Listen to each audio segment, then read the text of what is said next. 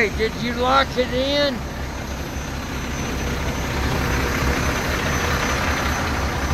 Kevin, you locked it in?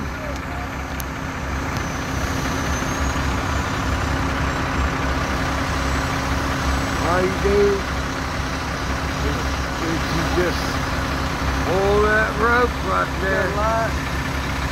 Yeah, hang on one second. I'm videoing. I'm almost through. All you do is pull that rope right there, or do you winch it or pull it to unlatch that pole up there? It's got a deal over there. It pull down. Oh, you pull that down, it unlatches it, and then it goes. You don't have to get up on it no more. No. So a man never has to climb the tower no more, huh? The pole.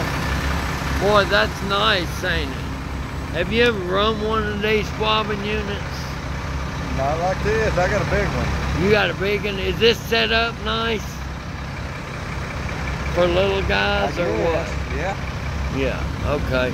Well, I wanted you to be honest. That way I can show my guy down in Mexico.